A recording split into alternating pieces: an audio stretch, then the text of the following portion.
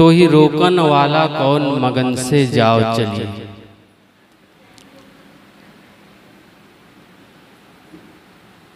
इसके और आगे पद है शब्द है। एक पंक्ति पर हम विचार करें। सदगुरु कहते हैं कि तो ही रोकन वाला कौन मगन से जाओ चलिए। हे मनुष्य, हे प्राणी, तुझे रोकने वाला कौन है?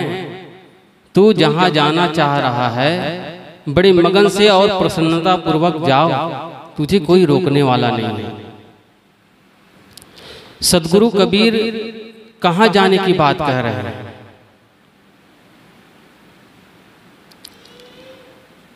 हर प्राणी हर मनुष्य की ये दिली इच्छा होती है कि मैं जीवन में सुख और शांति को प्राप्त करूँ। और जब से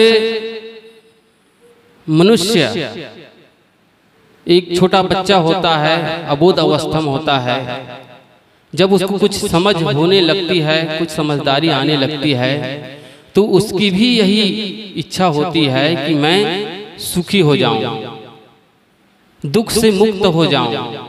शांति को पा जाऊँ। मोक्ष को पा जाऊँ। स्वर्गीय जीवन मैं यापन करूँ। प्रसन्नता पूर्वक प्रसन्नता पूर्वक मेरा जीवन बीते। इस सबकी इच्छा होती है। लेकिन मात्र इच्छा करने से वो प्राप्त नहीं होता है। उसके लिए तो हमको कर्म करना पड़ेगा पुरुषार्थ करना पड़ेगा मेहनत करना पड़ेगा। भौतिक उपलब्धि के लिए मेहनत खूब करते हैं। देखिए जब इतना महत्वपूर्ण काम को भी आदमी छोड़ देता है क्योंकि उसको धन कमाना है। महत्वपूर्ण काम क्या है? मन को साधने का काम। और मन को साधने का काम उसके उपाय कहाँ बताए जाते हैं? सत्संग में। कहीं भी ज्ञान की बातें होती हो वहाँ इसकी उपाय बताया जाता है। लेकिन ये जो महत्वपूर्ण है उसको भी आदमी छोड़ देता है। किस लिए छोड़ देता है? धन के लिए। जब से समझदारी आती है तो जीवन पर्यंत वो धन ही कमाता है भौतिक उपलब्धि को ही प्राप्त करता है। लेकिन मात्र भौतिक उपलब्धि को प्राप्त करने से जीवन में सुख और शांति नहीं मिलती। अगर भौतिक उपलब्धि को प्राप्त करने पर सुख शांति मिलती तो आज हम आप देख लीजिए आपके सामने करोड़पति लोग ऐसे घूमते रहते हैं। बिना नींद की गोली लिए उसकी नींद नहीं आती है। एक सामान्य व्यक्ति है, किसान है, मेहनत करता है दिन भर मेहनत करता है, खून पसीना बहाता है और आकर के कुछ रुखी सूखी खा करके वो जब सोता है तो रात कैसे बीतती उसको पता ही नहीं चलता है। लेकिन एक करोड़पति है जब वो सोने जाता है तो करवटें बदलता रहता है। और करवटें बदलता रहता है। और सोने के लिए उसके जो बिस्तर है साधारण नहीं रहता है। मखमली गद्दे के ऊपर वो सोता है। फिर भी वो करवटें बदलता रहता है। क्यों? जब तक वो नींद की गोली ना ले तब तक उसको नींद पूरी नहीं होती है। इसका कारण यही है उसने भौतिक उपलब्धि तो प्राप्त कर ली। लेकिन मन की जो उपलब्धि है, मन के लिए जो काम करना चाहिए, शांति के लिए जो काम करना चाहिए, उसकी तो उपलब्धि हो, किया नहीं, उसके लिए कोई मेहनत किया नहीं। यही एक विडंबना है धर्म के क्षेत्र में। धर्म के क्षेत्र में यही विडंबना है कि लोगों को यही है कि हम कहीं आश्रम में जाकर, कहीं मंदिर में जाकर, कहीं भी जाकर के वहाँ से हम जुड़ जाएँगे, दीक्षित हो जाएँगे। तो हमारा कल्याण हो जाएगा।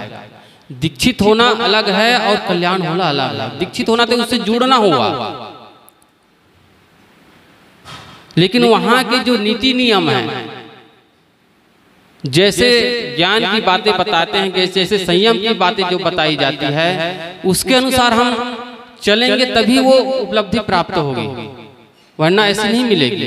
केवल जुड़ गए, आश्रम से जुड़ गए, मंदिर से जुड़, कहीं भी किसी धर्म, संप्रदाय से जुड़ गए तो हमारा कल्याण हो गया।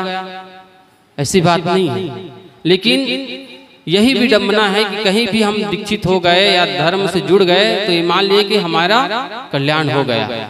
और ऐसे बताया भी जाता है धार्मिक मंचों पर कि आप हमारे गुरु से जुड़ जाइए अमुक मंत्र ले लीजिए अमुक नदी पर चले जाइए और स्नान करिए और पंडितों पुजारियों को इतना दान धर्म कर लीजिए तो आपका कल्याण है मुक्ति है। अमुक देवी देवता को इतना चढ़ावा दे दीजिए फिर वो आपकी कल्याण हो जाएगा। ये केवल भुलावे के लिए है। उसके लिए मन की शांति के लिए स्वयं पुरुषार्थ करना पड़ेगा। भौतिक उपलब्धि हमारे पास है तो तन को आराम देने के लिए तो हम दूसरे का सहयोग ले सकते हैं। लेकिन मन को आराम देने के लिए हम दूसरे का सहयोग नहीं ले सकते। उसके लिए हमको स्वयं करना पड़ेगा। काम क्रोध लोभ मोह जो मनोविकार है उसको धोने के लिए उसको टालने के लिए जो संत गुरुजन जो रास्ता बताते हैं उसके अनुसार उसको पुरुषार्थ करना पड़ेगा। ऐसे ही छू मंत्र से गायब होने वाला नहीं है। इसलिए सदगुरु यही बता रहे हैं तो ही रोकन वाला कौन मगन से जाओ चलिए।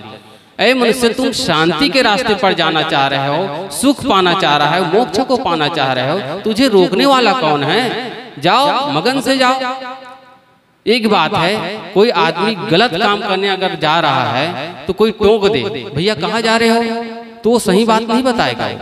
मैं चोरी करने जा रहा हूँ तो मैं गलत खान पान करने जा रहा हूँ मैं शराब पीने जा रहा हूँ। वो बताएगा नहीं।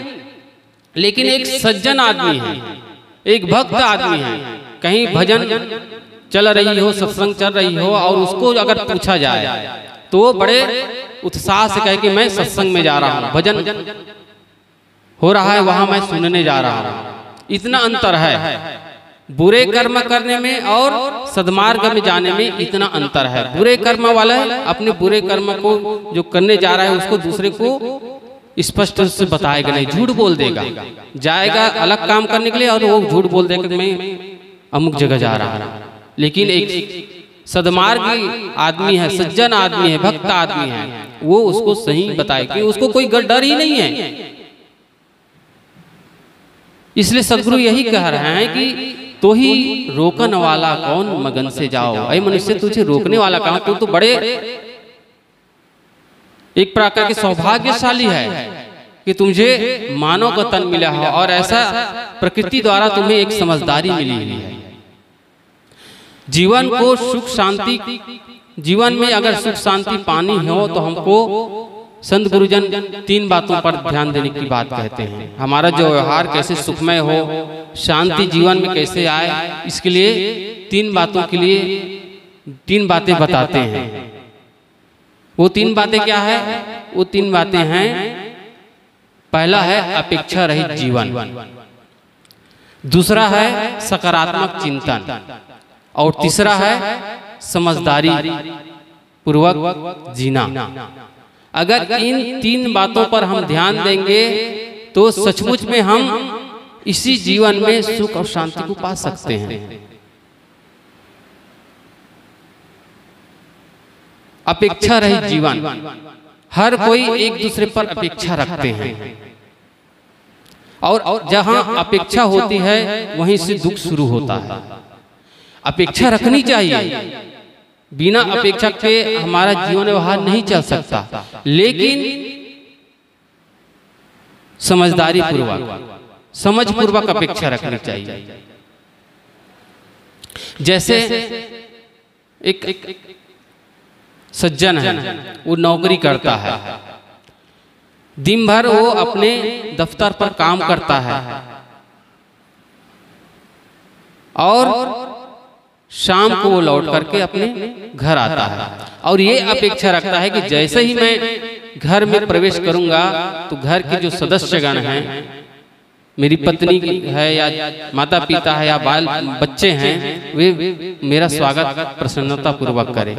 खासकर अपनी पत्नी के लिए एक अपेक्षा रखता है कि मैं दिन भर के लिए मैं थका हारा आ रहा हूँ तो मेरी पत्नी मेरे स्वागत के लिए वो खड़ी रहे। ये अपेक्षा किया है। गया दफ्तर से शाम के समय लौट करके घर गया। और जो अपेक्षा किया हुआ है उसके विपरीत हुआ। उसकी पत्नी स्वागत के लिए दरवाजे के पास आई नहीं। अब उसके मन में एक सोच चिंतन हुआ देखिए मैं दिन भर काम किया। और इन्हीं परिवार के लिए पत्नी बच्चे के लिए दिन भर खटता हूँ। जब शाम को लौटता हूँ तो फिर मेरे ऐसा ऐसा व्यवहार हो रहा है। वो ऐसा ही सोच करके वो दुखी बना रहता है। तो उसको दुख देने वाला कौन हुआ? उस समय उसको ये सोचना चाहिए पत्नी घर में रहती है तो खाली नहीं बैठी रहती है। उसको भी दसों काम रहता है। वो भी कुछ ही का, किसी कारणवश व्यस्त रही होगी। इस कारण से वो नहीं आ पाई। एक गिलास पानी नहीं दे पाई। उस समय हमको ये सोचने की ज़रूरत समझने की यही समझ नहीं पाते। हैं जो अपेक्षा किए रहते हैं उसके विपरीत हुआ तो वो आदमी दुखी हो गया। तो उसको दुखी देने दुख देने वाला कोई बाहरी शक्ति नहीं है। उसकी अपनी सोच है। उसने अपेक्षा कर रखा। है। कि ऐसा जाऊँगा तो ऐसे करूँगा ऐसा मिलेगा ऐसा मिलेगा इसी प्रकार से सबके लिए भाई भाई के लिए पति पत्नी के लिए पत्नी पति के लिए माता पिता अपने पुत्र के लिए ये सब अपेक्षा किए रहते हैं। और अपेक्षा के जब विपरीत होता है तब दुख शुरू होता है। सदगुरु संत यही बताते हैं कि अगर सुख और शांति का जीवन जीना चाहते हैं तो अपेक्षा रहित जीवन जियो। किसी से कोई अपेक्षा नहीं। कोई कुछ काम कर दे तो उसके लिए धन्यवाद दीजिए। अगर ना करे उसके लिए भी धन्यवाद का एक भाव होना चाहिए। तभी हम अपने आप पर संयमित रह सकते हैं और सुख शांति को प्राप्त कर सकते हैं। तो अपेक्षा रहित जीवन जीना। अगर इस युक्ति को हम अपना लिए तो कहीं भी रहें हमें कोई दुखी नहीं बना सकता। दूसरा है सकारात्मक चिंतन। सकारात्मक चिंतन सही सोच रखेंगे, सकारात्मक सोच रखेंगे तो हमें कोई दुखी नहीं बना सकता। हमारे पास जो वस्तु है, जो उपलब्धि है, हम उसी पर संतुष्ट रहना सीखें। लेकिन होता ठीक इसके विपरीत है। बड़े बड़े समझदार व्यक्ति में ये गुण देखा जाता है कि अगर उसके पास कम धन है, संपत्ति है, या उसके पड़ोस वाले के पास ज़्यादा है तो उसके मन में अमर्ष होता है कि इसके पास ज़्यादा कैसे हो गया। उसके पास जो संपत्ति है, उस पर वो संतोष नहीं धारण करता है। चलो ठीक है, जितना मिला अच्छा है, हुआ। आगे देखना चाहते हैं।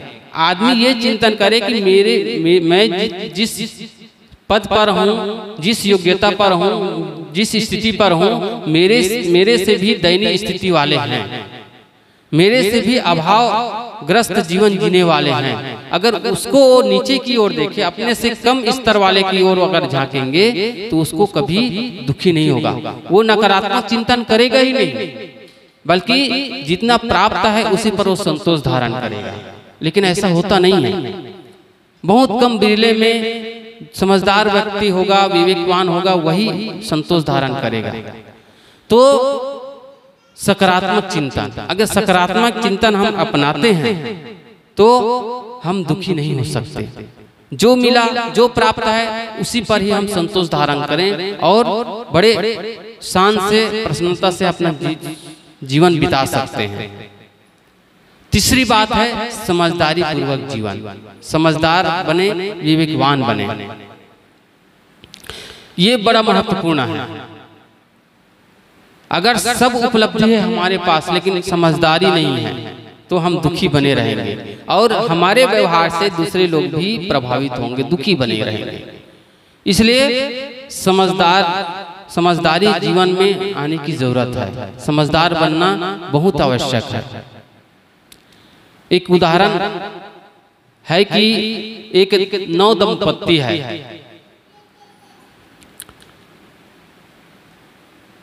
एक सत्संगी सत्संगी के पास जब उनकी शादी होती थी तो लोग उनसे आशीर्वाद लेने के लिए जाते थे। तो वो प्राय एक बात, एक उदाहरण बताते थे।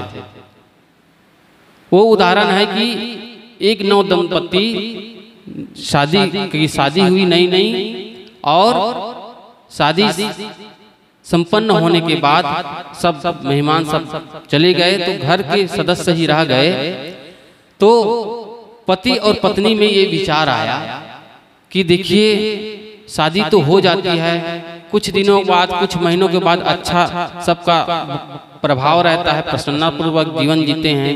लेकिन प्रायः देखा जाता है कि कुछ दिनों के बाद कुछ माह के बाद कुछ वर्ष के बाद एक दूसरे के प्रति उतना लगाव नहीं रह पाता है। प्रेम भाव नहीं बना रहता है तो हमारा जीवन कैसे सुखमय बने आगे का जीवन कैसे सुखमय बने? इसके लिए हम सबको क्या करना चाहिए? तो उन दोनों ने सोचा कि हम एक एक डायरी रख लेते हैं छोटी सी डायरी और ऐसा करेंगे साल भर बीतने के बाद जैसे सालगिरह मनाते हैं ना यूनिवर्सिटी कहते हैं। तो उसमें विवाह उत्सव जो मनाते हैं एक साल के बाद जब बीतेगी तो उस दिन हम अपनी अपनी डायरी को एक दूसरे पर अदला बदली करेंगे। उस डायरी में अपने मन में अपने विचार जो आएगा चाहे एक दूसरे के प्रति जो चाहे गुण हो चाहे दोष हो वो हम लिखेंगे। और जो दोष रहेगा उसको हम उसको दूर करने का प्रयास करेंगे। एक एक डायरी ले ली पति और पत्नी। साल भर बीत गए और जो साल गिरह अच्छे ढंग से मनाए उसके बाद शाम को समय रात के समय दोनों जब मिले अपने कमरे में तो अपनी अपनी डायरी को एक दूसरे पर एक्सचेंज कर दिया। पत्नी अपनी डायरी को पति को दिए और पति अपनी डायरी को पत्नी को दिए। पति डायरी लेकर के पढ़ने लगे। और पढ़ने लगे तो उसमें पत्नी अपनी बातें लिखी थी कि आप पंद्रह दिन तो मेरे साथ अच्छे से व्यवहार किए। लेकिन आप में ये दोष है।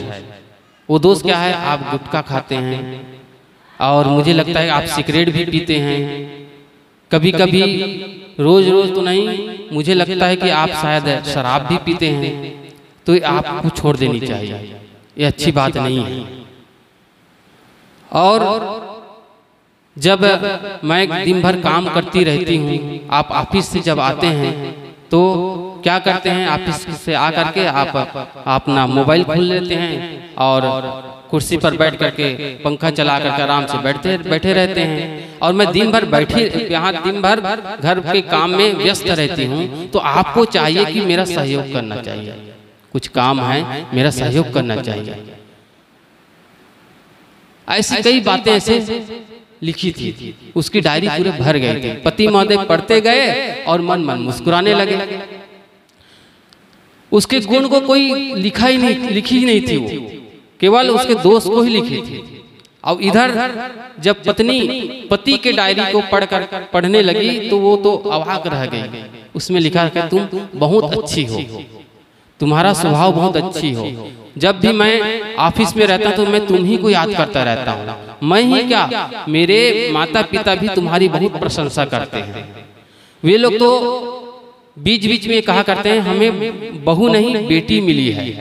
हमको ऐसा लगता ही नहीं कि ये बहू है। ये तो बेटी है। उसके दोस्त एक लाइन भी नहीं लिखे थे उसकी प्रशंसा में लिखे थे। पत्नी पढ़ी तो वो पढ़ती ही रह गई और उसके आँखों से आँसू बहने लगे। पछतावा होने लगा। मैंने क्या किया साल भर वही काम किया पति के दोस्त को ही देखती गई। उसके में जो सरलता है सज्जनता है उसको मैं पहचान नहीं पाई। और उसी समय डायरी को लेकर के अपने पति के चरणों में वो पड़ गई और फुट फुट करके रोने लगे। मैंने तो क्या किया ये क्या है? समझदारी पूर्वक जीवन जीवन पति ये जानता था कि पत्नी में भी ये दोष है, लेकिन उसको अपने जीवन को सुंदर बनाना था अच्छा बनाना था। उसको दोष पर कभी उसने इंगित नहीं किया। तो अगर जीवन जीना है सही पूर्वक जीना है सुख पूर्वक जीना है तो जीवन में समझदारी को लाना पड़ेगा। तो मैंने तीन बातों पर कुछ देर के लिए निवेदन किया। पहली बात है अपेक्षा रहित जीवन दूसरी बात है सकारात्मक चिंतन और तीसरी बात है समझदारी पूर्वक जीवन जीना। अगर इन तीन बातों पर हम ध्यान देंगे इसको अपनाएँगे तो सचमुच में हम इसी जीवन में सुख और शांति को प्राप्त कर सकते हैं। बस मैं इतना कहकर अपनी वाणी को विराम देता हूँ। बोलो सदगुरुदेव की जय।